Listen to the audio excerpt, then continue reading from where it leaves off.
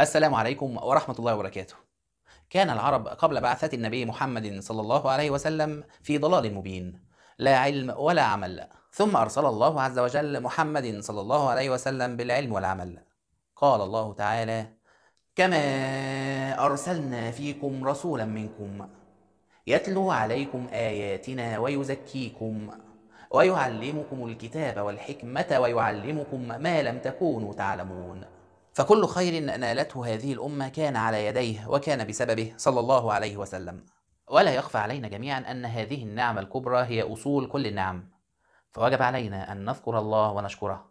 ونزل قول الله تعالى فاذكروني أذكركم واشكروا لي ولا تكفرون يقول الحق سبحانه وتعالى لعباده المؤمنين فاذكروني في النعمة والرخاء.